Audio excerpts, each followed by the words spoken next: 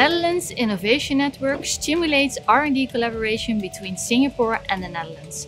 We provide information on the latest technology trends and developments and connect you with leading research institutes and companies.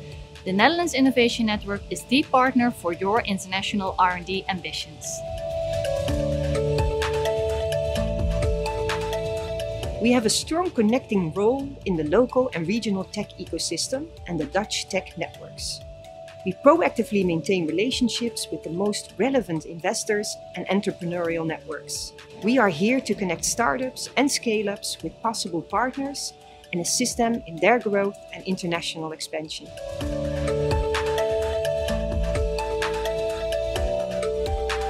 Our aim is to strengthen the position of the Dutch agricultural ecosystem in Singapore, providing valuable insights on Singapore's 30 by 30 journey, promoting collaboration in sustainable agriculture so that we can produce more food with less land, water, and energy using circular food systems.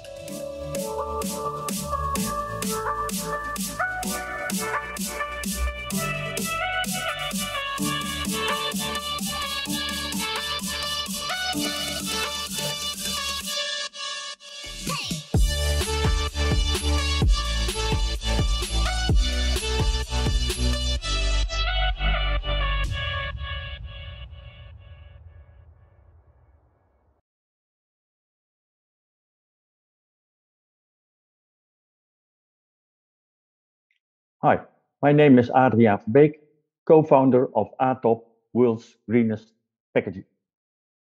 First of all, I would like to thank IPI and the Dutch Embassy for this great opportunity. I'll start with a short introduction. Who are we and what do we do? And then I will present five innovations that might uh, uh, interest you, uh, but I can assure you there is more. Our team consists of four people, and we have over 100 years of experience in the packaging world. Of key importance to know is that we develop new packaging and technologies. Know-how and intellectual property is licensed.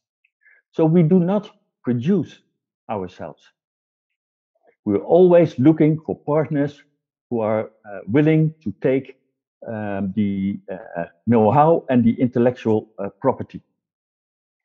We develop both generic and custom-made packaging solutions for food, for drinks, and non-food. We have knowledge of recycling, and we make our own LCAs. And that's quite important to know because by that way, we can objectify um, the current and the new innovative uh, packaging. We are experts in many materials, in printing technology and film extrusion, so we do not have in-depth knowledge of tin and glass. Big advantage is that we operate independently. We are not tied to a choice of materials. I'm now going to show you and share with you a couple of um, examples um, out of the five segments I selected. It's fruit and vegetables, snack vegetables. You see one uh, on the left, uh, and I can show you uh, one over here. It combines fun and functionality for snack food. And then uh, we have a special um, packaging developed uh, for uh, soft fruit, but now uh, in recycled carton carton that is food approved, hygienic, um, resistant to moisture, and that is shock and moisture absorbing Uh, since we developed a special uh, bottom uh, for it. And then a packaging for strawberries. Examples for to-go and home delivery to replace single-use plastics. Um, it's a unique packaging. It's uh, leak free. We have a packaging for uh, drinks. Uh, and coming soon is a replacement for um, a pizza uh, box, but without any PFAS. Then we have the Easy Steam.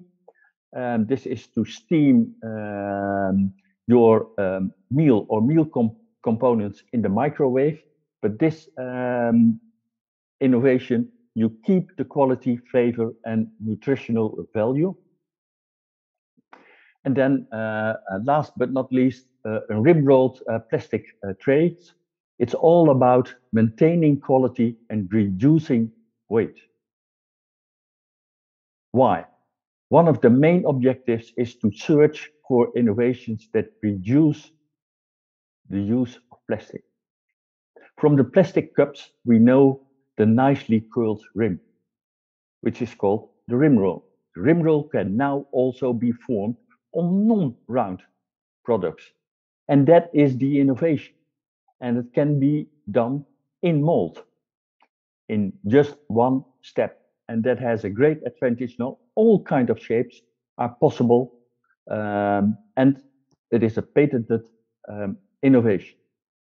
Suitable for all kind of materials, um, suitable for thermoforming, sealable, uh, can be closed and reclosed with a lid, and it is a patented packaging innovation. Thanks very much and hope to see you soon.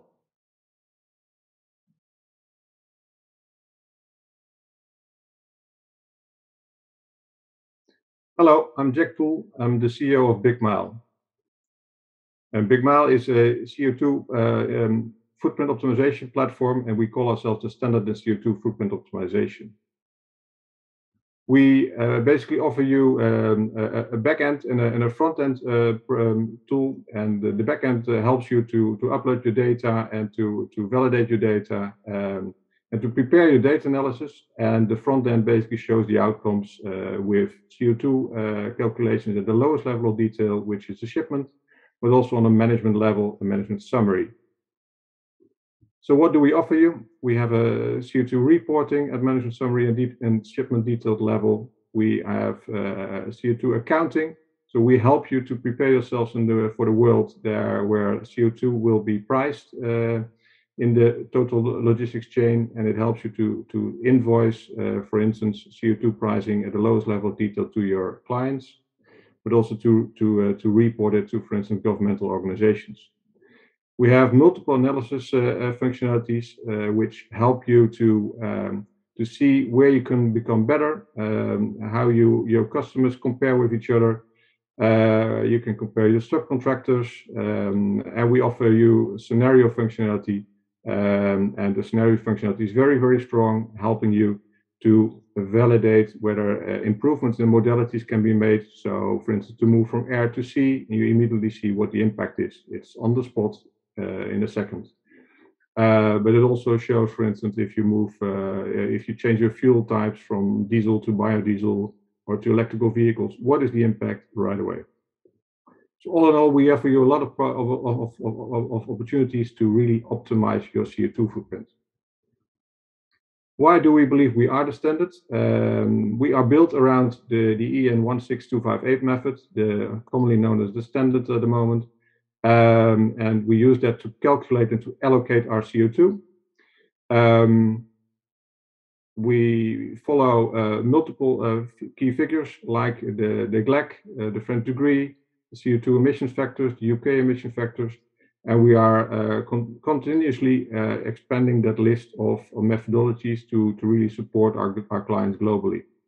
We're also working on a certified accountancy statement, um, which helps you to uh, to overcome uh, highly costs on, on accountants so that you can uh, have an official statement that the report, the, the reporting done with BigMile is the right one, is okay. And we are rapidly growing at the moment. Uh, so already have, have 200 users um, that use our platform uh, on, on a frequent basis. They're either shippers, they are carriers, they're governmental organizations, um, and uh, we also have a European partner program with the Lean and Green uh, program. And uh, our expansion is uh, taking place out of the Netherlands, where we have our headquarters. Um, we have about uh, 12 people um, working on product development and, and, and, and, and some sales. And we also have a recently established sales office in Germany, and that's the, the start of our global expansion. Uh, and will more sales offices will be opened in the near future. Um, at the moment, already our products can support the whole whole global supply chain. Uh, all um, all countries, all uh, all networks are included. All modalities are included. So you could already start right away, and we are going to support you globally. Um, that's my presentation. Thank you very much for your attendance, and um, looking forward to to meet you, share share a demo with you, and uh, see how we could cooperate. Thank you.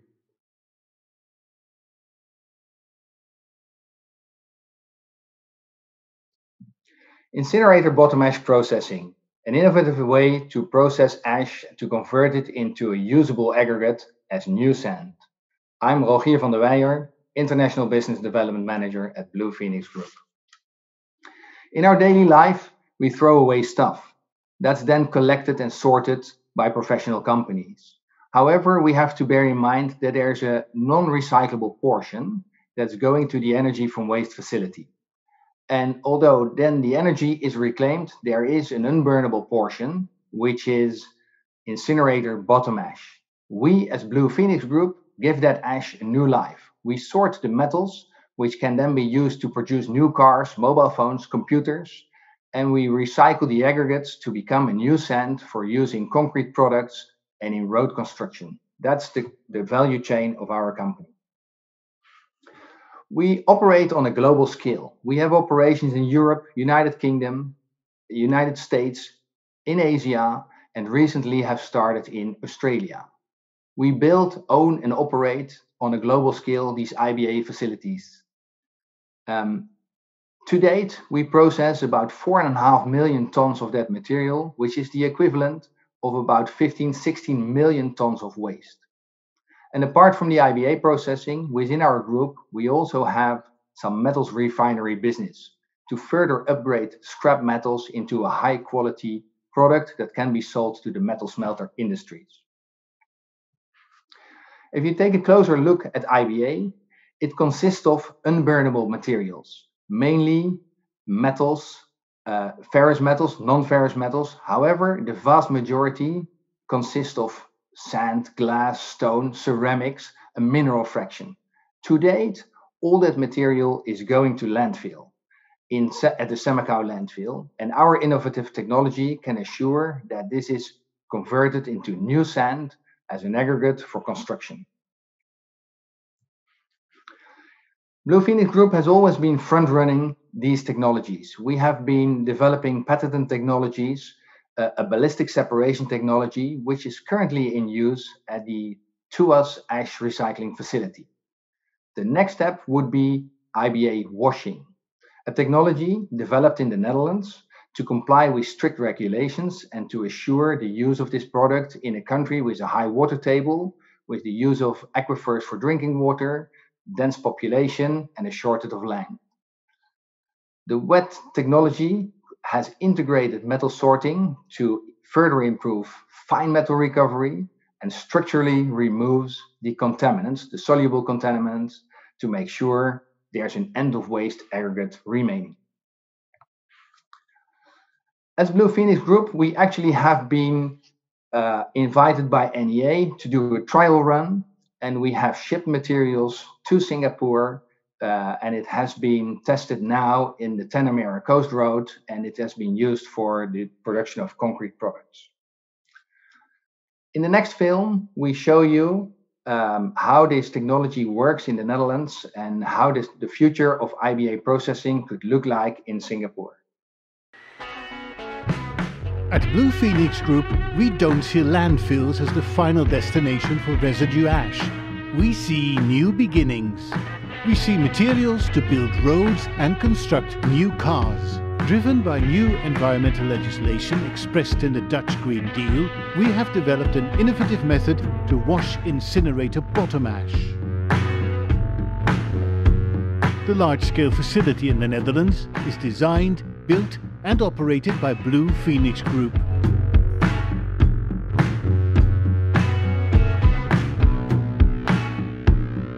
Contaminants are structurally removed in various intense washing steps.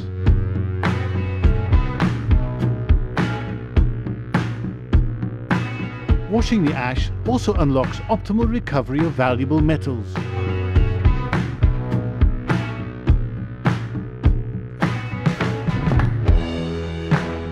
Washing enables the recovery of very fine metal particles.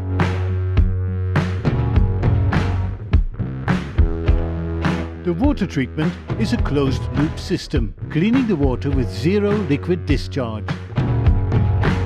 The contaminants removed in the process are concentrated into a small sludge cake fraction suitable for landfilling. Skilled operators, supported by automated controls, ensure a high uptime of the installation and guarantees a reliable product quality. Cleaned aggregates are now ready to replace virgin materials in infrastructural works and concrete products. We are Blue Phoenix Group, building a sustainable future. So thank you for watching. Thank you for the attention and be um, awaiting your questions if you have any. Thank you so much.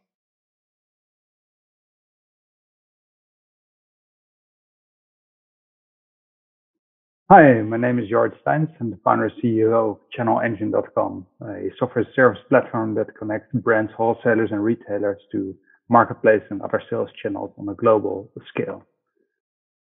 Our company was founded in 2013 uh, out of necessity uh, because of our own e-commerce platforms that need to connect to any sales channel. In the meantime, we have over 100 marketplace professionals in our team, uh, five offices worldwide, and we uh, provide 24/7 support. E-commerce is changing a lot. Um, it's growing enormously, uh, especially during COVID last year. It has been increasing to we expect it to be 4.9 trillion US dollars in 2023, and that's only 15 to 20 percent of all of retail, uh, and that shift is going faster and faster. Uh, a lot of e-commerce is shifting towards marketplaces. So uh, in Asia, uh, Shopee, Lazada, but of course globally, Amazon, Walmart, and those kind of platforms are, are, are gaining traction. And we expect that more than 75% of e-commerce sales will go through a marketplace or dropshipping model that adds a lot of complexity for retailers and brands that want to utilize that. New marketplaces are being added every week. Uh, small niche marketplaces, but also bigger marketplaces are expanding globally. And that adds complexity for sellers.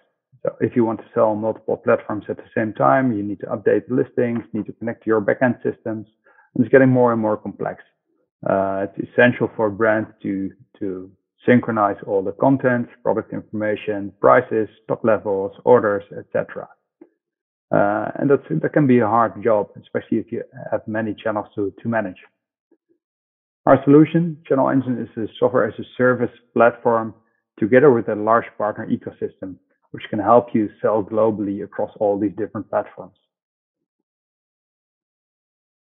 As a result, if you're using our solution, uh, you've got a platform uh, as well as partners that can help you with a faster time to market, full control of product availability, delivery, and pricing, centralized control of global sales, uh, and rapidly growing e-commerce sales uh, with less people. Uh, and in the end, they will be helping you maximizing profit uh, and data-driven insights and automation. I just spoke about our network. Uh, if you want to sell cross-border, uh, it's not only your software solution, but you might need someone to help with uh, optimizing your content, making sure your products are found on the different marketplaces. So we've got a network of more than 65 e-commerce agencies uh, that can help you out.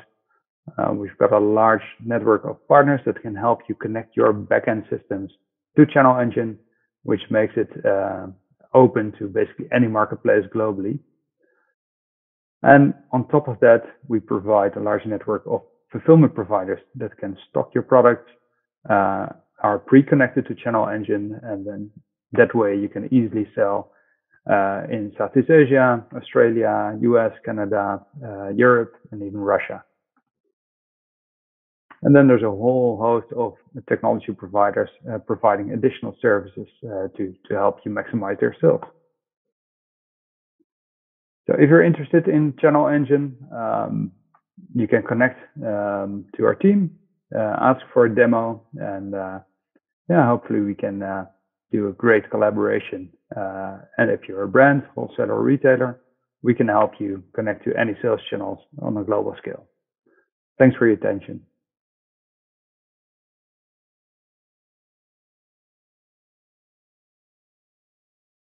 Hi, my name is Linda Dijkshoorn. I'm one of the founders and CEO of EV Biotech.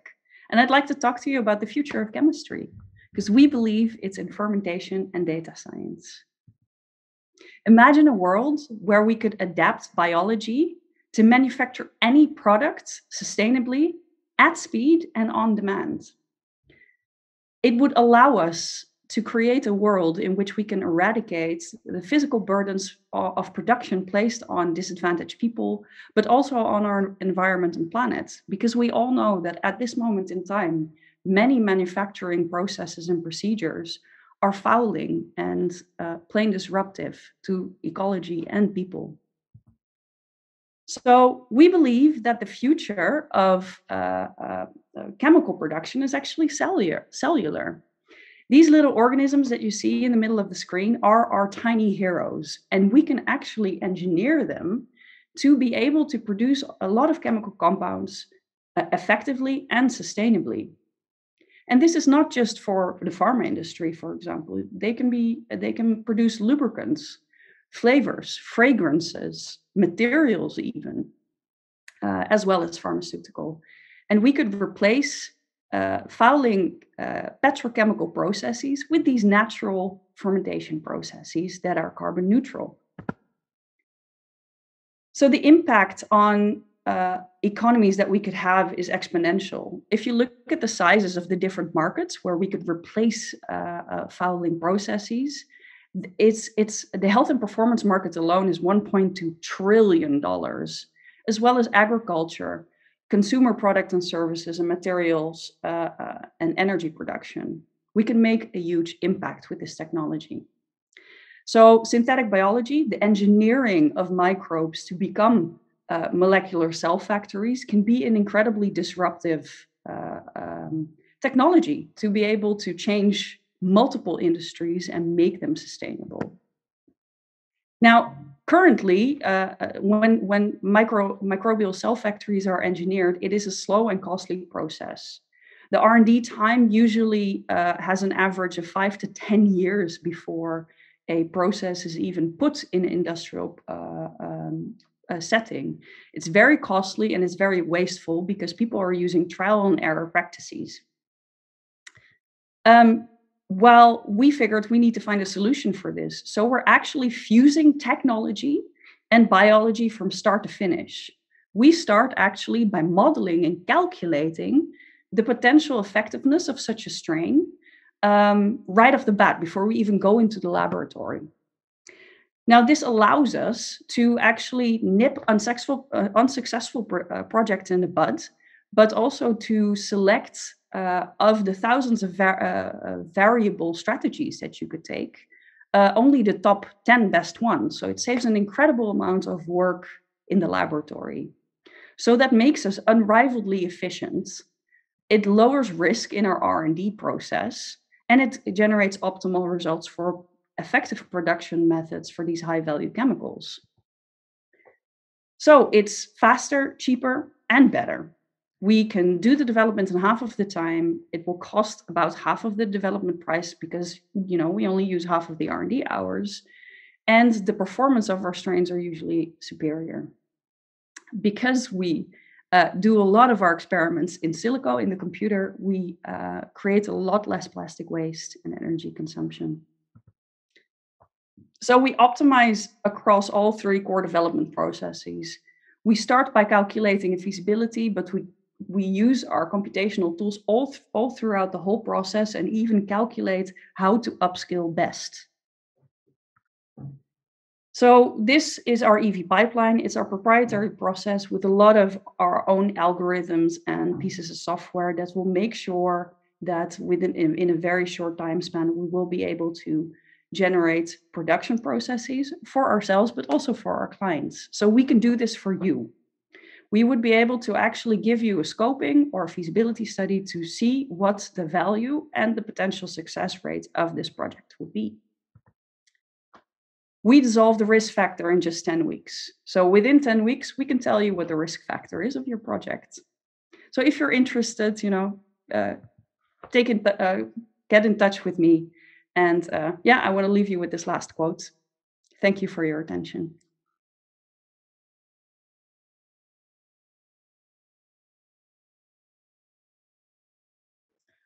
Good day to you all. My name is uh, Jan Willem Roel. I'm the uh, founder and CEO of Flexbase. Um, I'd like to introduce my company to you. And for that reason, I've made a small overview of what we are doing. Uh, our mission statement is uh, living with water instead fighting the water. We are uh, developing and designing large scale floating platforms uh, that we can use for several uh, possibilities like living, working, but also for leisure. Uh, our company was uh, founded in 2013, but already a few years before we started to develop this uh, floating construction with some major companies in Holland. Uh, but lately, uh, we have been doing altogether 6,000 square meters of floating constructions, and that happened to be in in Holland, but also in Asia, Bangladesh, Philippines, and the Middle East this year, we also founded Flexbase International in Singapore. We have there a uh, co-founder that is a CEO, that is uh, Shiven Yap. And uh, from there, we have a hub to uh, promote uh, Flexbase in the Asian region. Uh, it has several patents, this construction, and one of the features is that I am uh, producing that straight on the water, and it needs minimal maintenance. So the latest IPCC report uh, noticed that we have a real big issue, and the issue is sea level rise. And for that is uh, the Global Center of Adaptation in uh, in Holland, uh, with its headquarters in Holland, together with some other big uh, worldwide uh, foundations, are working now on city adaptation. So uh, we are not dealing only with sea level rise uh, due to climate change, but we also dealing with uh, land subsidence. For instance, if you look to Jakarta, Jakarta is sinking about 15 centimeters a year. On the other hand, we also dealing with land scarcity that uh, because a lot of people are moving to the big cities and the big cities are most of the time always near shore. So our solution is then working on adaptation. So our solution and secrets are in fact uh, that we are building directly on what I already stated before. As you see the picture on the uh, on the right, there you see that we have uh, yeah, let's say pieces of uh, EPS that we put on the water and it, the concept is like a surfboard. We have three different types of structures that we build on the water. The major items are high buoyancy uh, and it is all recyclable. So our business model is uh, that we are first looking into feasibility, if it is possible to build a floating structure on the location. Then we design a floating foundation. Uh, in that respect, we're looking into all aspects like waves and water depths, etc. Uh, we build it, and we do that with always with local uh, partners. Uh, we uh, give out licenses, etc., etc. And uh, the next step will be that we're also looking into finance the floats that we can then uh, use to, for instance, fish farming and agriculture farming on the water. And uh, our uh, final, uh, yeah, let's say, round in the in the business model is then that we are talking about operate and maintain our structures.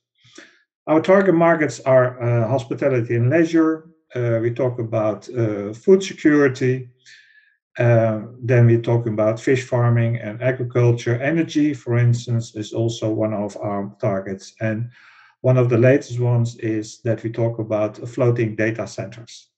So what we really are looking for are partners to implement this kind of concept in Singapore, but mainly in the whole Asian region.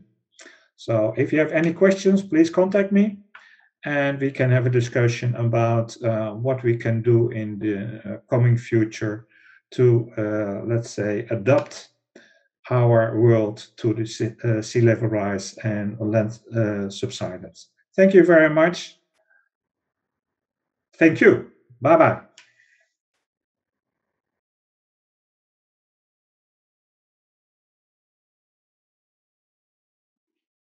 Hey everyone, thank you for listening into this uh, presentation. My name is Alexander Enthoven. I'm head of business development at Kryha, and in this presentation, I will explain more about a landmark project that we're currently developing with our valued industry partners.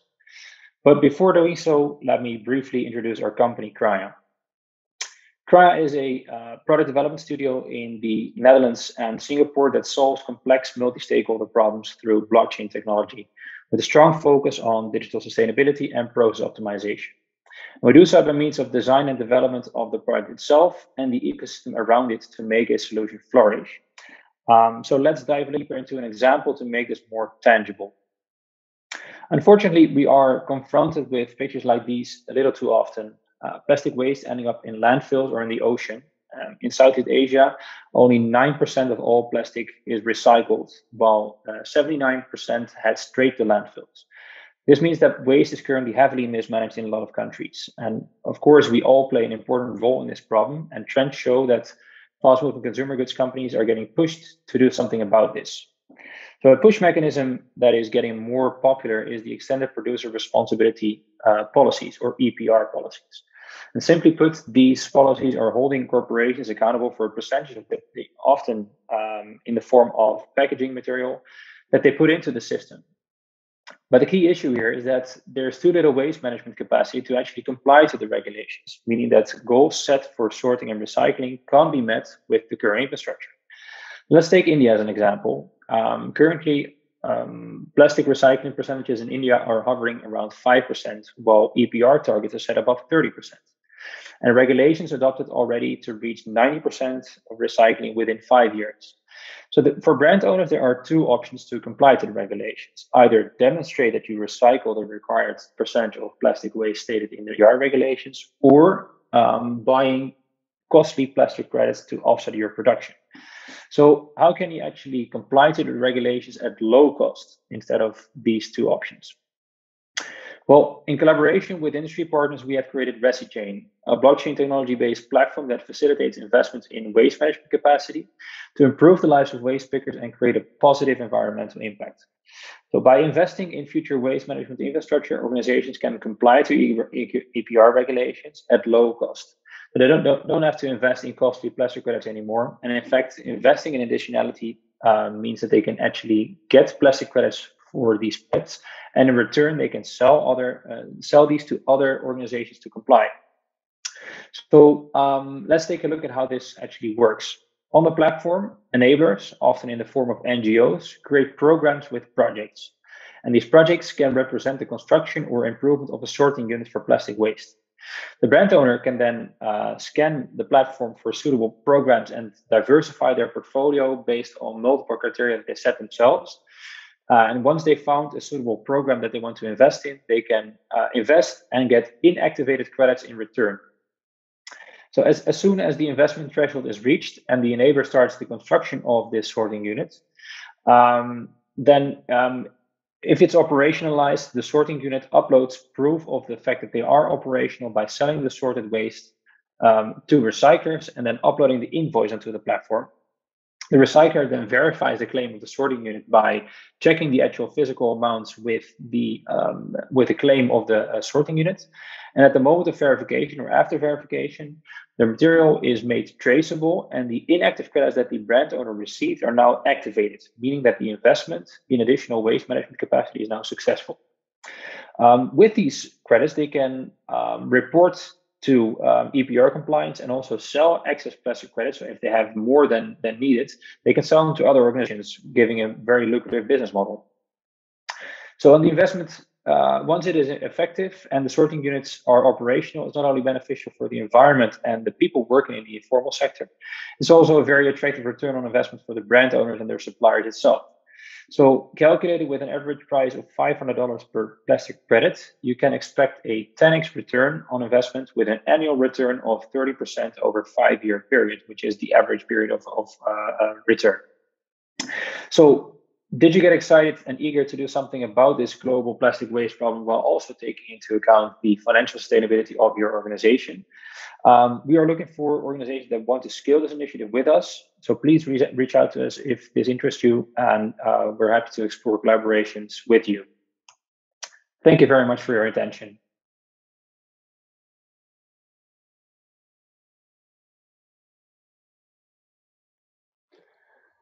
Good afternoon and welcome to our presentation of our GDPR-proof and fraud-resistant access control system uh, made for you by Ledger Leopard, uh, also called our self-sovereign identity solution. And before I'm going to go into the solution itself, let me briefly introduce our company.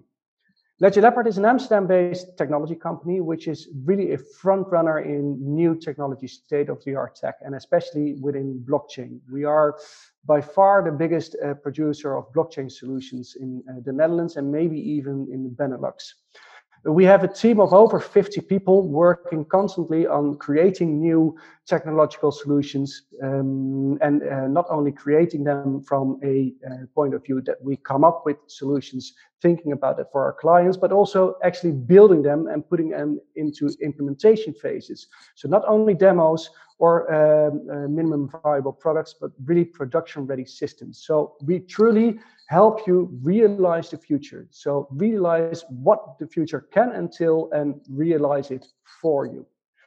So let me deep dive a little bit more into our um, SSI or self-sovereign identity solution, and especially what is the problem that we're trying to solve? Well, nowadays with access control, in both the physical and in the digital world, we do see that this process can be very time consuming with a lot of manual checks of credentials. Does the person that wants to enter this building or wants to enter this program have the right credentials to do so? Do they have the right diplomas? Do they have the right, um, did they do the right courses to do so? And with these credentials, are they the right credentials and are they true credentials issued by a trustworthy party or is it a credential that they have produced themselves? And especially with physical access control, we do see that we need a lot of specific hardware to be installed for granting access and also employees in a lot of cases have the power to reproduce or manipulate these uh, credentials because we do see more and more, unfortunately, fraud cases with regards to certain credentials. Besides that, we also see the element of um, uh, the fact that uh, a lot of databases get hacked. So a lot of personal sensitive information is being lost. And especially and most forwardly is persons who the data is about are no longer in control of their data. Once you hand over your data, you can't control if they will share with somebody else, yes or no. And this is really what the world of a self-sovereign identity um, uh, solves. So we give you careful, uh, careful and uh, fast access controls based on uh, true credentials that are uh, there with mathematical uh, certainty to make sure that the credentials that are presented are true. We have data minimization and the person in itself is fully in control in whom I do want to share the data with and do I want to retract this sharing of data. So make sure that you're GDPR proof and that the person verifying the credentials knows for sure that this person really, really um, has this credential in itself. So how does it work in general? Well, you have a trusted issuer, a person or party who says this is a true credential and that is sent to the holder. And the holder is the person in itself who can hold this credential in their wallet on their telephone. and present this to a verifier. And this is where the technology then comes in. The verifier can scan this credential and using blockchain technology can verify if the presented uh, credential was a true credential and not a falsified or a copied from a friend, yes or no. And let me make it perfectly clear, we use this blockchain system for verification of the credentials, but we do not store any personal data on the ledgering itself. So just let me give you an example process. For example, there is a, a, laboratory that checks on COVID results. Well, these COVID results will be sent to your wallet on your telephone.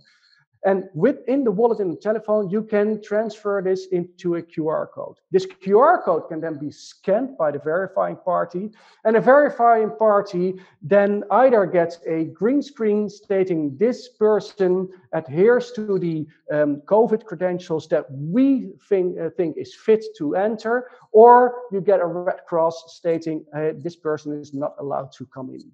And a picture paints uh, a, thousand words, and this is what things then look like in real life. So you scan the QR code, and then you either pop up a green screen stating, yes, this, is a, this person is allowed to come in, with a picture of the person in itself, uh, so you know for sure that this credential uh, uh, belongs to the person presenting it, or either a red cross stating this person is not, not allowed to come in here. Well, I want to tell you much more about our solution and how it works in practice. And you can use it basically in any type of industry with any type of credential. But please contact us then during um, uh, the tech innovation uh, days, and we'll tell you much more about how this solution will work. Thank you very much for your attention.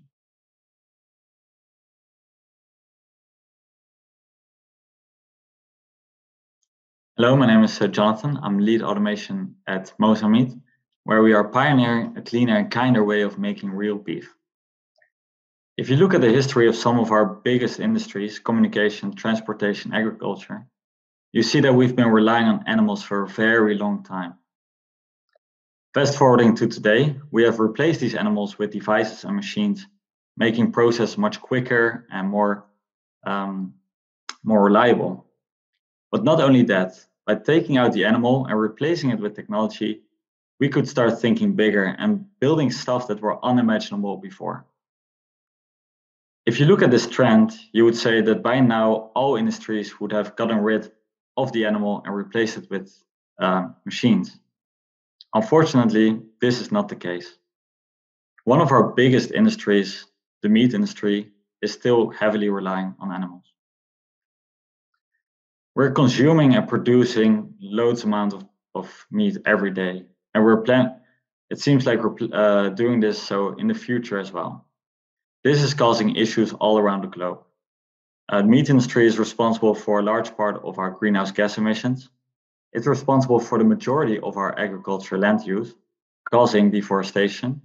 We're using a lot of fresh water and most of our antibiotics are going into the animals. But on top of that there is the sad situation that we're just killing millions and millions of animals every single day. Luckily, there are alternatives, and we are working on one of them. Back in 2013, Professor Mark Post and co-founder of Mosa Meat uh, presented the world the first ever hamburger grown inside of a lab. The process is quite complex, but I would like to explain it in four in the four basic steps. First of all, we go to the animal. We take a small sample, which we bring to our facilities and we select the cells that we start with. Those cells we put into an, um, a device which we call a cultivator and fill that device with a liquid medium full of nutrients, vitamins, and creating this comfy climate where they can start to proliferate. This means that every 24 hours, they will double in numbers. Once we have enough cells, we bring them into a hydrogel where they can fuse together into muscle fibers. And in a parallel process, we uh, let the cells grow, other types of cells grow into fat or adipose tissue. Once those two products are ready, we bring them together and form a nice, juicy hamburger. At Mosa Meat, the majority of the people working with us are either scientists or engineers. And we're developing technologies all across this pro, uh, production process. We have developed methods and equipment for harvesting and selecting the ideal starting cells. We have developed uh, different kinds of media, both for cell growth, muscle formation, and for fat formation, which are complete, food safe, and animal free. We also develop biomaterials that support the cells, both for muscle formation and for fat formation. And besides that, we also have a dedicated team of engineers uh, developing production equipment that are not available on the market, including a harvesting station, muscle tissue cultivators, and fat tissue cultivators. With that, I would like to invite you to talk uh, with us. Uh, we're a very international team and internationally focused. We're eager to work with people within the meat industry as well as outside of the meat industry. Think of biotech, chemical and food processing, but also robotics, packaging, and branding. Uh, we're exploring the options of licensing our technologies. So please visit our booth and let's have a conversation. Thank you.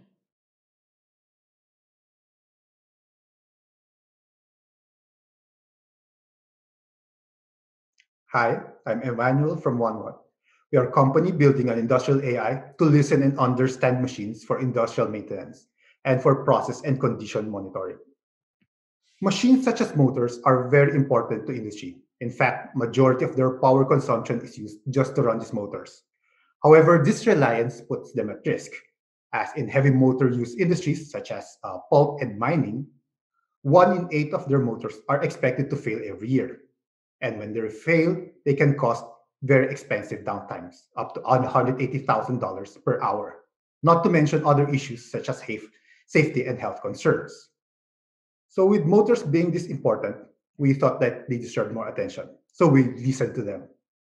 Inspired by the techniques employed by veteran workers in facilities, wherein through experience and familiarity with their machines, they know if something is wrong by just listening.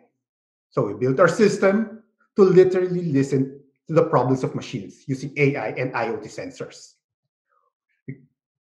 We, created our sensors, we call ears, to listen to the machines, and our core AI Sense A to make sense of the noise.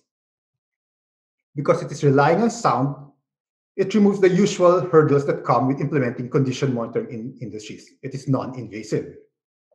To install, first you just get the sensors, Second, you attach it anywhere near the asset that you want monitored. And third, that's it. So unlike other systems, there's no need to cut wires, no need to shut down, adjust your processes, or have any dangers in your existing warranties, making installation and usage virtually risk-free. It is also adaptive.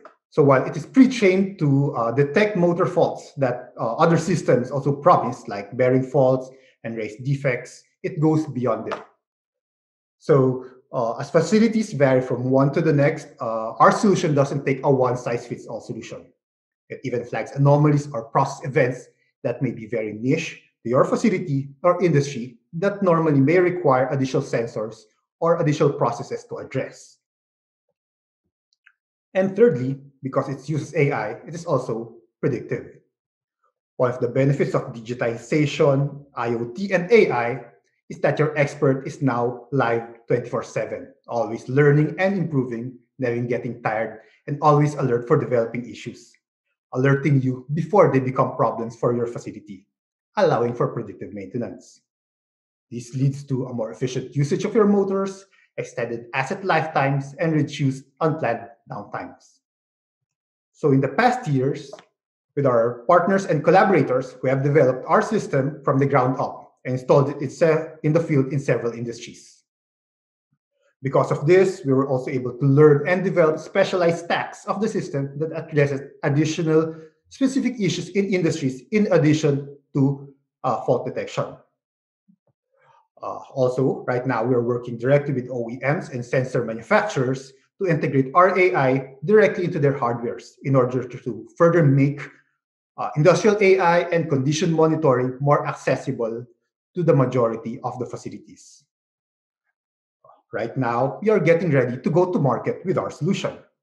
In order to do this, we need more partners that we can work with to co-create uh, domain-specific builds of our AI. We also need service providers and OEMs we can work with to go to market and integrate our solution directly into their offerings. And lastly, we're opening a round of funding to build our commercial and support capabilities and also manufacture our devices to industry compliance. So if you're interested to learn more and hear from us, please do have a chat with us. We'd love to listen. Thank you.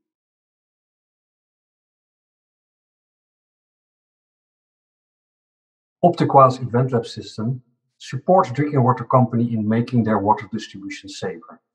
My name is Jos Verhoef. I'm Managing Director at Optiqua. Optiqua offers with our Event Lab system a complete solution for real-time water quality monitoring.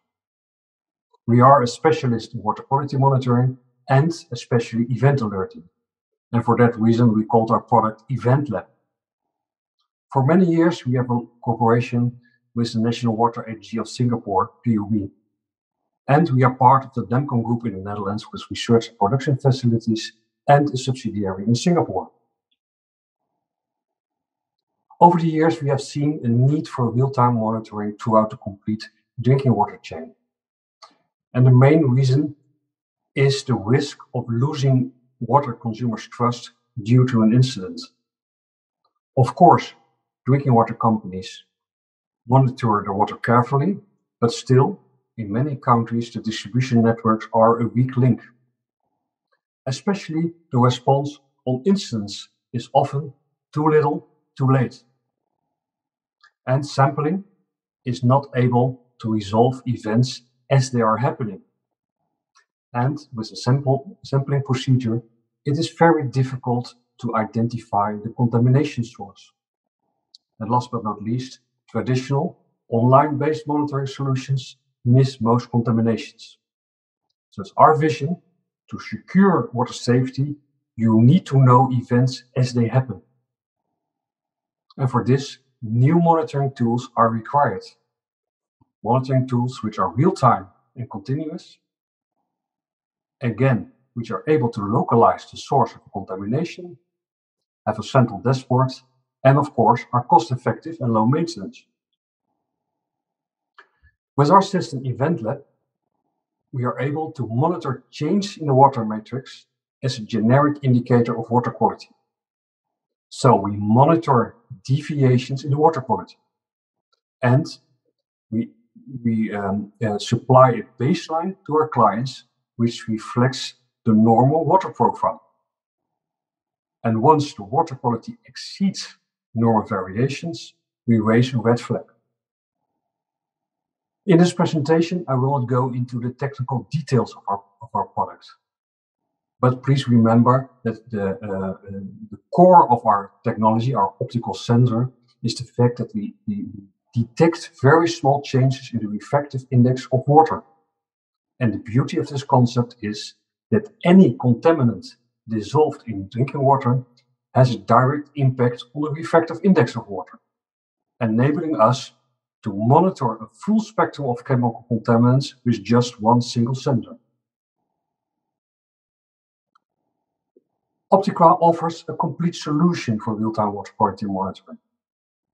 So not only our patented sensor, but also the data transmission infrastructure.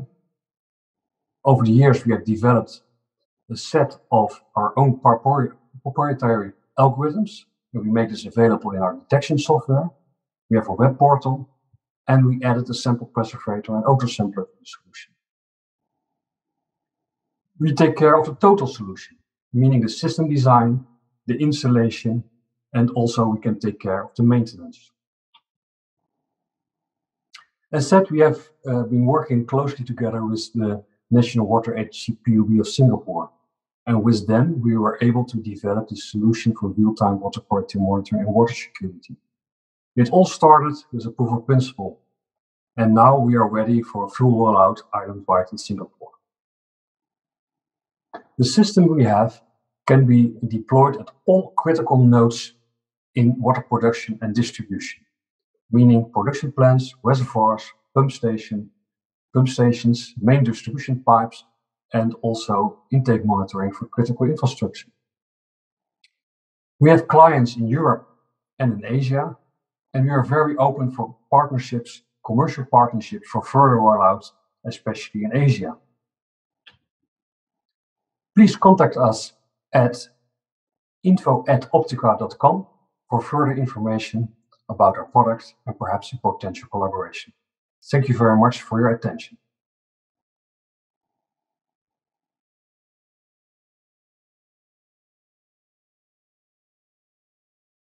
Hi, good afternoon. This is Jeevan Shively. I work for Royal Haskoning DHV, and I want to share this uh, fascinating technology that we have designed for you. So our company is almost 40 years in business this year, and we design business processes like supply chains, passenger flows, traffic flows, and we design physical infrastructure, ports, airports, bridges, uh, railways, anything. And we assess all of them on their impact on the environment, or the other way around, how the environment has an impact on the assets and processes, uh, be it climate change, be it weather, whatever.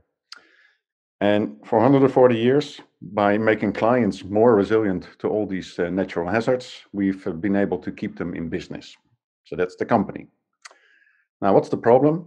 Um, as you all know, climate change, uh, the weather is becoming becoming more extreme, but there's other stuff going on, like economical um, uh, pressures. Uh, we have over-optimized supply chains, um, just-in-time deliveries. Um, we see trade wars. We see social unrest. People who don't have a very economic uh, welfare life, and uh, they want to get to the rich countries. So what we're seeing is that more and more hazards an, uh, is, uh, are disrupting the, uh, the business processes. And as business processes are so over optimized, smaller events have a larger impact. And the third one, anywhere in the world, something can happen and it can ripple to uh, different industries, different countries, as we've all seen with, uh, with COVID. So that hits companies in many different aspects the risk management part, procurement, business continuity, supply chains.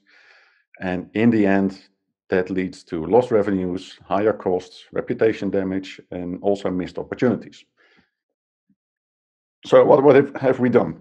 We've created an hazard agnostic platform based on uh, data available either publicly or from science institutes or from uh, commercial providers We've connected that and we are able to make transparent for any location in the world at any moment what happened in the past, what's happening now, and what will happen over the next few hours, days, and decades.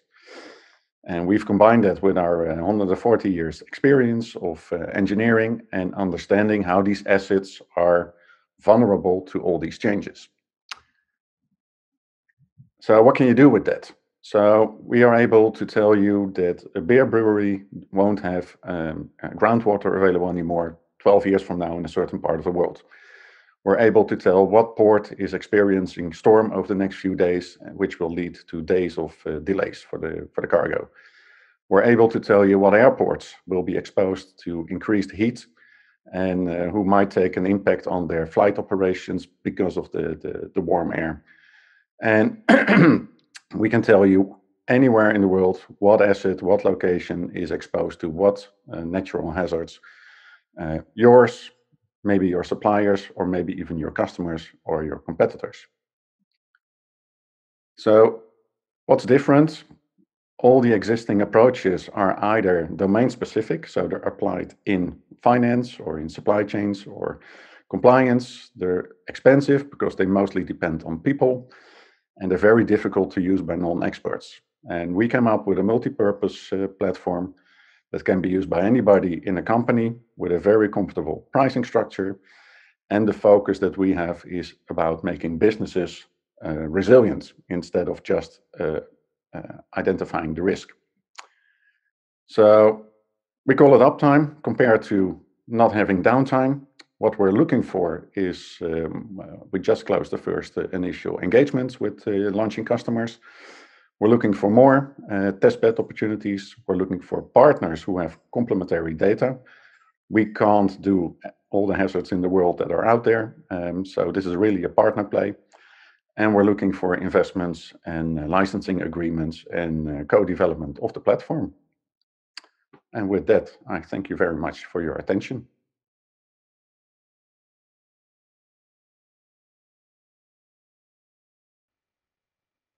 Hi everyone, my name is Simon Jagers. I'm one of the founders of Samotics. At Samotics, we provide our clients with a solution to prevent unplanned downtime and to optimize energy consumption for industrial electric motors and rotating equipment such as pumps, fans and conveyors. Founded in 2015, we're now a team of over 60 people serving clients across the globe. And our clients are active in a diversity of industries, operating pumps, fans, conveyors, really as the backbone of what they do. But because there's so many of them and because they also fail quite a bit, depending on your industry and application, between 5 and 15%, this is a hugely expensive problem. Now, because of the cost of that problem, many of our clients are shifting from a reactive and a planned maintenance strategy that accepts downtime as a byproduct of their maintenance strategy to a more sophisticated regimen. Think of condition-based, predictive or prescriptive maintenance. And if you want to shift to a, to a more uh, data-driven maintenance approach, what you're going to have to do is you're going to have to install a condition monitoring system. Now there's many types of those available. Uh, all of them have a source of data. Uh, they have analytics to turn that data into information, which is then presented to maintenance engineers um, to optimize their maintenance uh, frequency. Um, and that's what we do as well. But what makes it unique is that we analyze electrical waveforms. And we do that with a system called SAM4, our fourth generation smart asset monitor. Um, the system itself consists of a set of sensors and communication hardware. They measure current and voltage data, send it to the cloud for ana analysis, where we turn that data into information about the condition, the performance, and the energy consumption of connected assets. So when we then detect a failure, you will receive an alert so that you can effectively schedule inspections, repairs, or replacements well before your assets fail. Now, the system is based on the principle that both electrical and mechanical failures across a drivetrain, for instance, anywhere here on this pump setup where you have a variable speed drive, you have a motor and a pump itself, any failure will result in a deviation or a change in the, in the electrical waveforms.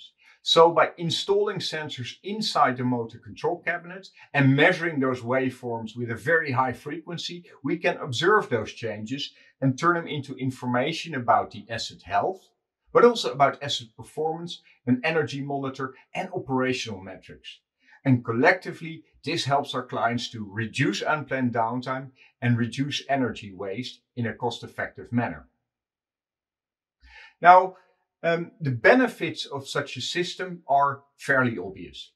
Number one, because sensors are installed inside the motor control cabinet, it is quite easy to monitor assets that operate in very harsh conditions. Think of very hot and very cold temperatures, but also think, for instance, of submerged pumps.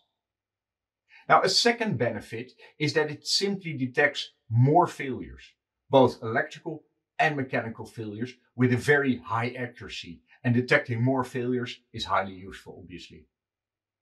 Thirdly, it really sets the stage for a more uh, for digital transformation in, in heavy industry with all of that information about performance and about energy consumption uh, from the, the backbone really of most production processes, the industrial electric motors driving pumps, compressors, conveyors and more.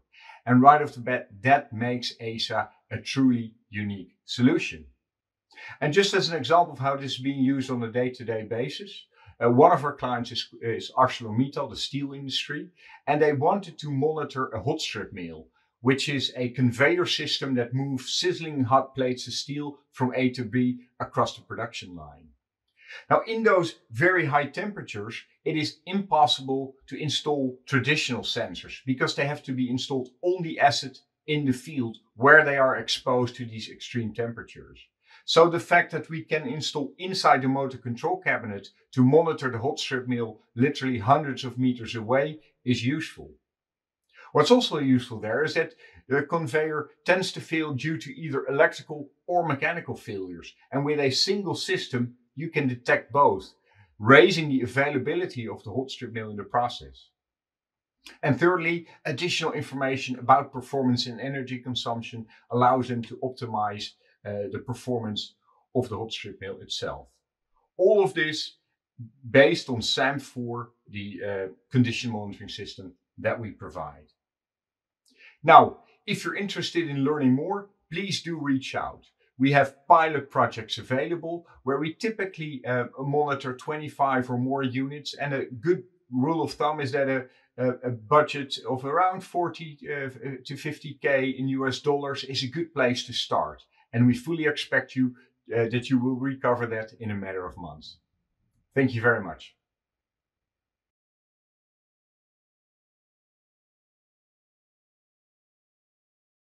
Hello, this is Gijs Klaassen um, from the Netherlands, from uh, Schouten Europe, responsible as an international sales manager.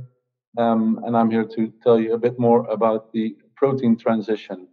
Um, let me start with a small introduction about us as a company. Um, we're a Dutch family business, started over 130 years ago with, uh, with the bakery.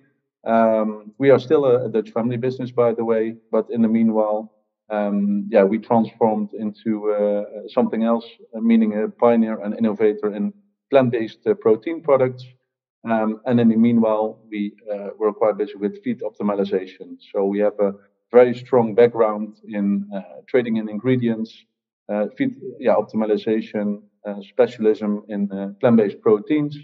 Of course, in a further in a in an earlier stage, using those proteins to feed animals, and then yeah, afterwards, we consume those animals, but since 1990 already, we started uh, with Schouten Europe as it is today, uh, and that's 100% focused on plant-based only products. So that gives us over 30 years experience with um, plant-based alternatives. Uh, at the moment, we're active globally in over 50 countries for um, yeah, retail, out of home, and uh, uh, food industry, so meal components or meal ingredients. Um, our vision is uh, quite clear, so we're convinced that the world requires, uh, uh, yeah, food that's more, yeah, plant oriented than animal oriented, also to be part of the emission problem we have globally. How do we do that? Um, yeah, phase one for us was feed optimization, so making sure uh, the animals were consuming the right type uh, of, of uh, protein, of course, so uh, the family business was really focused on uh, that part of the business. So all about optimizing uh, animal proteins. The second phase for us was uh, replacing meat. So we started with that in 1990. Uh, um, yeah, making sure uh, that we mimicked meat as much as possible. So yeah, this phase is still very much ongoing, but this phase is all about replacing animal um, protein with a plant-based uh, uh, protein alternative, like a burger, mince, sausage, uh, a nugget, a snack. So all types of, let's say, classic mimic meat replacers.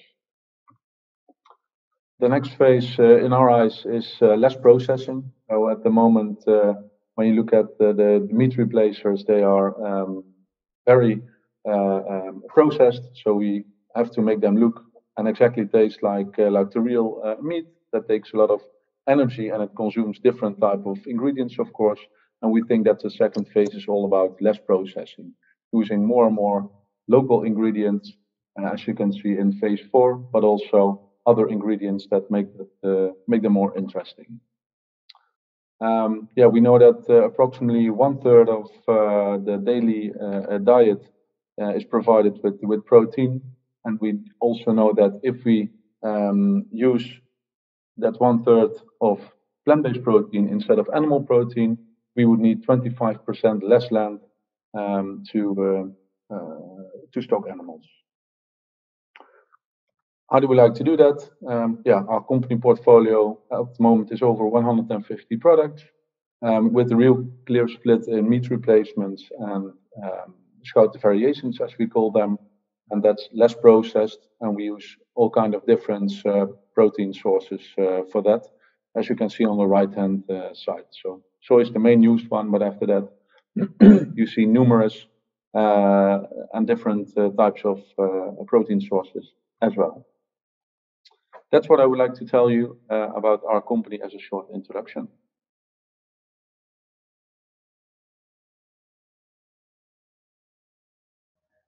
Hello, my name is Philippe Leduc. I am the technology lead for Sioux Technologies, and I am pleased to give you a presentation today of our surgery planning and navigation system technology. Sioux Technology is a Dutch high-tech service and solution provider, um, providing solution in UX, software, mathware, photonics, and mechatronics for the medical and semiconductor equipment industry. We have more than 25 years of experience in high-tech development with R&D center in all over the world, Netherlands, Belgium, Germany, China, Singapore, and Vietnam. Our annual turnover exceeds $100 million USD, and uh, the number of employees actually, uh, actually uh, exceed 850 engineers nowadays. So we started our journey in AI-powered medical imaging three years ago when we realized, working with clinicians, that despite the fact of the top-end medical imaging technologies are nowadays available, a lot of work is still required to obtain efficient 3D representation usable for diagnosis, surgery planning, and surgery navigation. For instance, here are 2D actual views of a brain with hematoma from different sources, CT, CTA, and MRI. How to easily identify the hematoma, accurately size and locate it within the brain, and determine the best solution to remove it. It is very difficult in practice for clinicians to combine different image sources, especially since the software solutions and the related algorithm from existing medical imaging companies are often proprietary closed systems, which are only usable with their equipment. We concluded that for every surgery, uh, we need a tailored solution and that no such solution is currently available for preoperative and uh, intra-operative navigation. And from there, we developed a unique technology to address this need. I'm very pleased to introduce Dr. Adeline Hong, our project manager in charge of the development of this technology, who will give you a tour today. Thank you, Philip. So here we're presenting you the state-of-art medical software empowered by AI algorithms to assist the clinician in clinical diagnosis, surgery planning, and navigation. So with this technology, this clinician can uh, combine sort, uh, medical images from multiple sources. Uh, that means including multiple modalities, for example, CT, CTA, and MRI, and also from different manufacturers into one combined 3D volume for easier interpretation. And um, with the assistance from AI algorithms, uh, the the, the technology can help the clinician separate out critical anatomical structures like vessels, um, nerves, and tumor from the medical image to help the surgical planning. So in the planning phase, uh, with the 3D reconstructed uh, volume, uh, the surgeon can uh, take measurements, uh, manipulate the 3D volume, and also uh, plan and optimize the path of the surgical tools uh, to make sure that it doesn't hit or damage any of the critical structures in the patient. And then during the uh, surgery, uh, with integration of this technology and other positioning and tracking devices, uh, this uh, solution can really provide real-time positioning information of the medical tools to the clinician to help um, guide the, the positioning and moving of the, of the medical tools. So here I would like to show you a demonstration of, of how we uh, use this technology in the removal of hematoma. So what you can see on screen is a 3D volume combined from CT, CTA, and MRI. So you can see the skull from the CT image. And then here marked in green is the nerve from the uh, MRI image. And then also the vessels uh, segmented from the uh, CTA image. And also with uh, the support of AI algorithms, the clinician can really outline the target tumor to remove. And also what you can see in this screen is the trajectory path of the needle uh, shown here in the dashed line. So this is how we use this tool to really help the clinician uh, visualize the 3D volume from different angles and to make sure um, nothing gets damaged when doing the surgery. So I think with this example, you can see how this technology really uh, support the clinician by providing them comprehensive medical information uh, in a very uh, easy to interpret uh, format and then also uh, support them in saving time and also boosting their confidence before going into the surgery. And removal of hematoma is just one of the medical applications that this technology can support. Uh, we're, uh, we're confident that this technology can also assist in other uh, medical operations like um, spine surgeries, cancer treatment, and radiotherapy.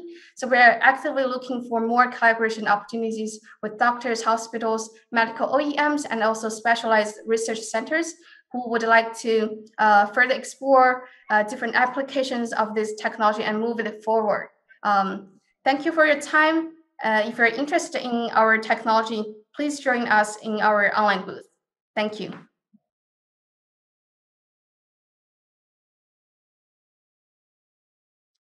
Hello, everybody. My name is Tom Meulendijks. I'm the founder of SteelTrace. And with SteelTrace, we do the digital traceability from the supply chain of steel for the chemical and petrochemical in industry. We're a Dutch company. We were founded in 2017 with a mission to bring transparency to the supply chain of steel. We use new technologies like platforms and blockchain to seamlessly integrate the quality management uh, of steel throughout the whole supply chain. One of the problems is that the current uh, quality assurance of the supply chain still is a lot of manual work. You have to be physically there. All the data is captured in a non-structured way. So there is always a person that has to check it. Um, and it's very difficult to look at historical uh, data. So here you see an uh, example of uh, how a supplier provides data to an end user. And you see the red markings, and that's all manually checked by the end user uh, it's prone to human error. Uh, it can be uh, easily changed, modified the document, or just completely fake. It's a time-consuming process, and that is very expensive. And in the end, you don't have the possibility to very easily uh, retrieve historical data and do analysis on it. So here is an example. This is of a welded tube, starts with a plate mill, plate mill creates a steel plate, starts adding data like tensile test, impact test, yield strength, and that then goes to the pipe mill, and the pipe mill has to verify that it complies with their specification. Then they turn that into a pipe. They work maybe with an external laboratory. Maybe there's an inspector there that needs to endorse the uh, the data. Um, and that all happens with PDF documents going around, emailing, printing, signing, stamping, scanning, etc. And with SteelTrace, we're sort of the LinkedIn for the steel industry. So every company uh, gets an interface and can all, and can add their part of the data and take digital responsibility with a digital signature. And when the data moves through the supply chain, we automatically verify uh, the data against the customer specifications. So there's no more need for manual review. We also store every step that everybody takes in the supply chain, meaning that uh, there's full traceability. Now every company has a silo and uh, keeps their own administration to prove traceability. When they're all, all working in SteelTrace, this is fully automated and just part of the normal process. We call this compliance by design. We pre-program in the rules with which a, comply, which a product has to comply and a company has to work with. And within those rules, they move uh, the, pro- the data moves through the supply chain and it cannot move further unless it complies with the predefined rules. Um, the protection against fake, right now, uh, you can theoretically buy a good pipe from a good mill, have a PDF certificate, and then you buy 20 pipes from a bad mill, you copy over the marking, and you just copy the certificate.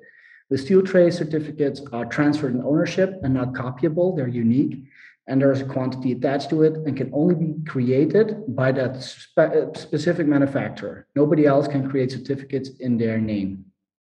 And this is uh, how you cannot add new products in the supply chain uh, that didn't come from the original manufacturer. So whenever somebody tries to sell you a pipe as an end owner, you just have to ask, can you also prove that you're the owner of the digital counterpart of that pipe, just like you prove that you're the owner of a Bitcoin.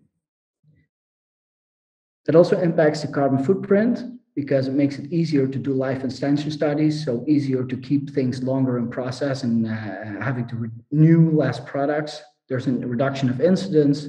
It's completely paperless, so no more sea containers full of paper. Uh, and um, you can reduce the product returns, which uh, reduce the need for transport.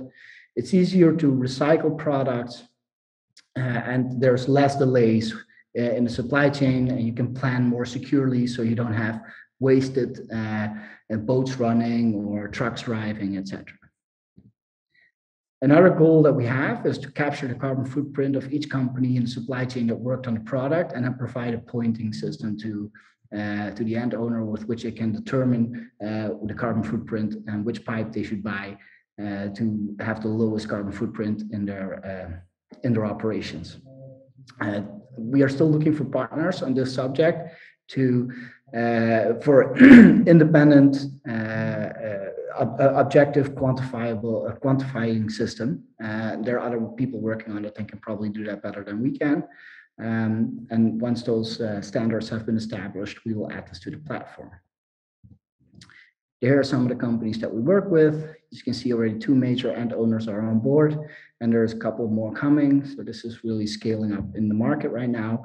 Um, our product is at a phase where it's ready to use, so you can implement it today.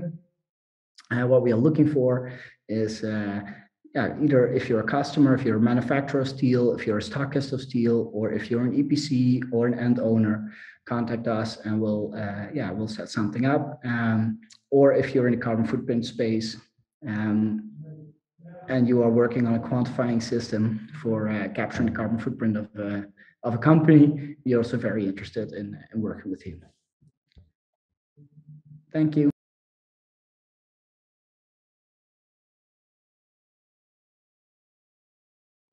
Good afternoon.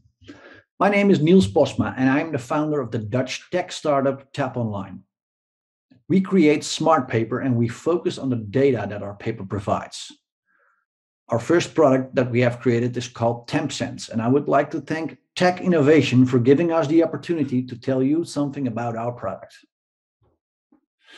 Every year, there are 10 billion kilos of refrigerated products imported through worldwide cold supply chains. You can think of medicines, food, but also, for example, COVID vaccines. About 10% of that amount is thrown away because something went wrong during that transport. That's 1 billion kilos of loss. That is more than the heaviest container ship in the world. These numbers are just for the Netherlands. Imagine what those numbers are globally. The problem is that it is unknown where these damages originated, and that means that there are a lot of difficulties in holding somebody accountable.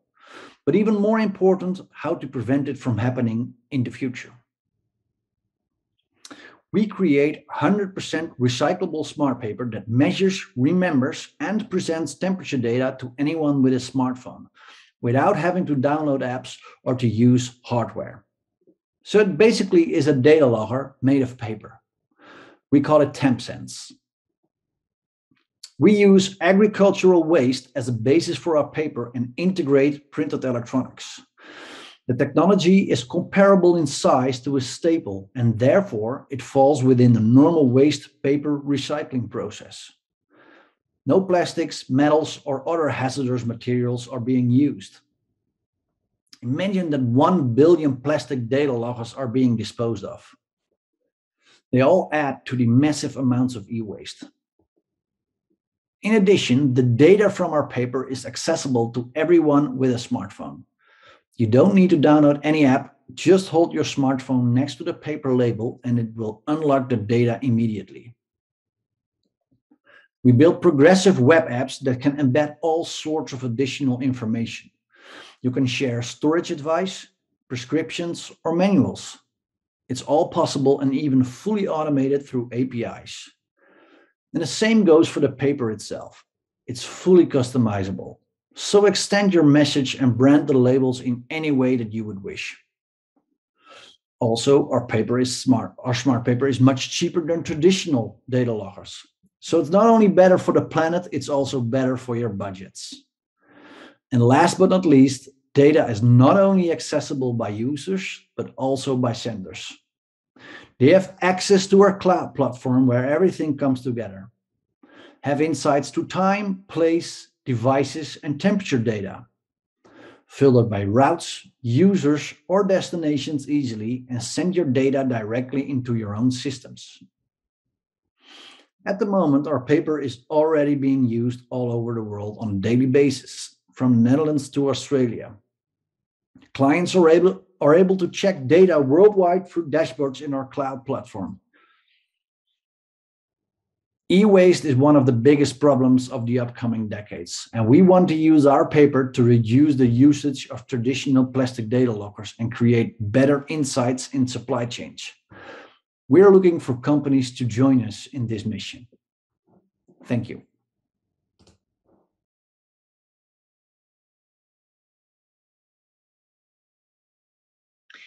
Good morning, afternoon, evening, wherever you are. My name is Marieke from the Netherlands. I am the CEO of the company that's called the New Fork. We're based in Amsterdam at the Science Park, and we're here to tell you about Open Food Chain. Open Food Chain is everything about food, and we are establishing the tech-powered future of our food. The problem that we're focused on is this problem on one hand, we all know as consumers, we get confused. We get confused when we are in the supermarket, but we also get confused when we buy our goods and services online.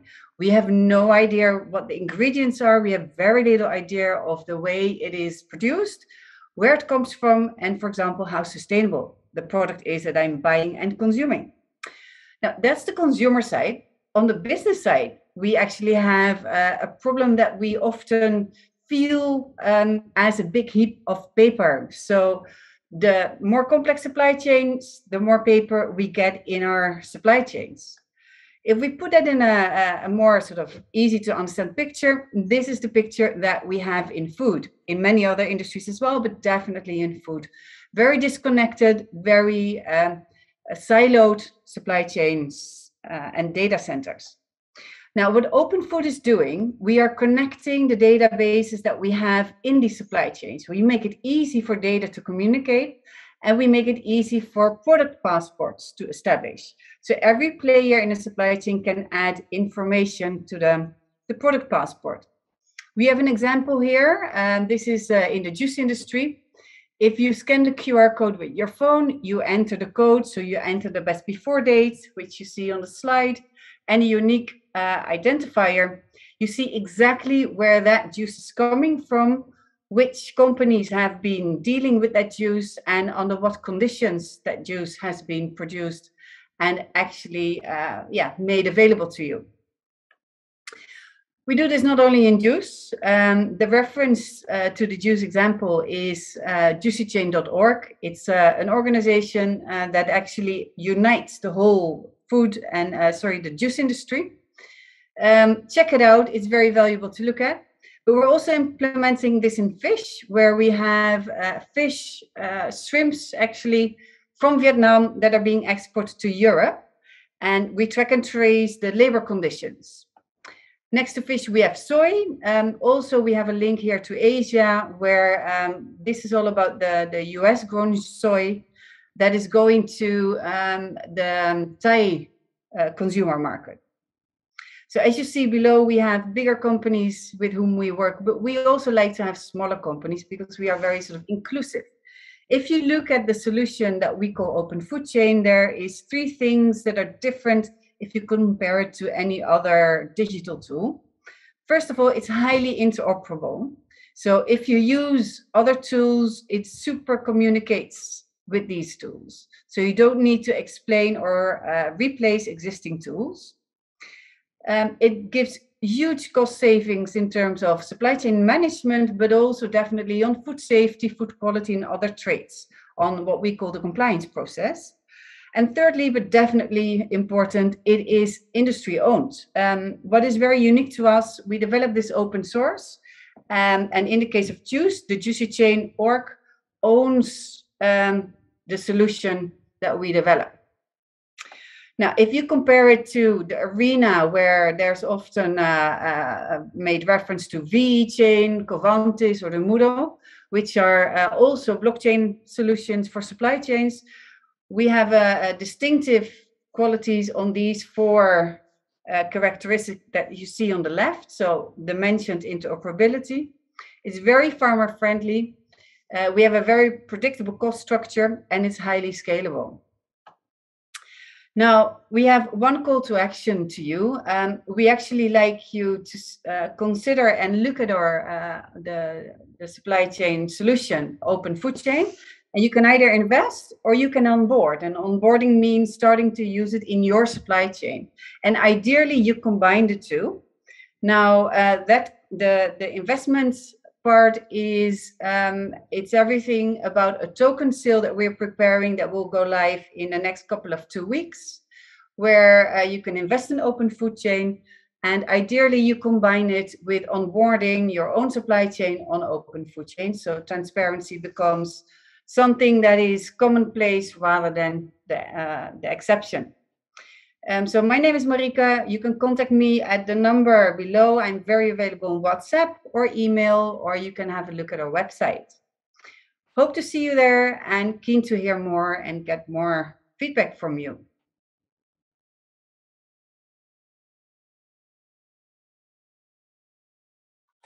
Good day, my name is Wim de Laat and I will talk about protein production by fermentation on behalf of the Protein Brewery. Protein Brewery is a small startup with, that's developing uh, new protein products based on fermentation. As a, a very experienced uh, founding team and a big Series A investment last year, we closed a 26 million euro investment um, and by Novo Holdings, Roquette and Unovis. Now, the purpose of our company is to change the way we produce proteins because five years ago, we saw that we import a lot of soybean in the Netherlands, feed that to animals in an awful animal unfriendly way and ship meat all around the world. And this is not a very sustainable way of producing proteins. So we thought, can we build a business case out of producing proteins by fermentation? Uh, in order to do that, we developed a product development strategy uh, meeting all the food trends, being non-allergic, more protein, more fiber, and less carbohydrates, uh, but also addressing uh, very important social and, and, environmental issues that we are dealing with as a, as a society. And that is that we have to produce more proteins to, to feed 10 billion people. So it should be scalable in order to have impact. It should be affordable. If it's not affordable, people cannot buy and it will not grow. It should be acceptable, sustainable, nutritious, and healthy safe and delicious. And if we tick all those boxes, we will uh, be able to sell uh, alternative proteins uh, to the food market. Well, Fermotein is the first product that we are going to commercialize. This is a fermentation-based product uh, based on a selection of sustainable feedstocks that are non-allergic, high yield per hectare, high water efficiency, global rollout. The brewery will produce more protein per hectare than with soybean, even three to four times more protein than with the best protein crop. We have two versions, a wet product to be able to be applied in meat analogs and a dried version that can be applied as a food ingredient in bread, fortified food, etc. So it's very rich in protein, very high essential amino acid contents, low in carbohydrate and affordable. Um, the raw materials that we are going to use is sugar beet and um, uh, in the Northern Hemisphere, corn and potato around the world. And in Asia and in Africa, we can use cassava and sugarcane as a raw material to produce Fermotein locally. Where is the company now? We have a pilot plant and food experience center started up and the first food products have now been developed. So we are now building customer relations and uh, developing um, uh, letters of intent to, to build our demo plant. Uh, our business model is that we will provide ingredients business to business, cheaper than meat and plant-based and local for local produced. So we are now getting regulatory approval in Europe, use ourselves from GRAS so we can sell in the US. And we want to have six full-scale operating plants around the world by 2030. And with that, I thank you for your attention.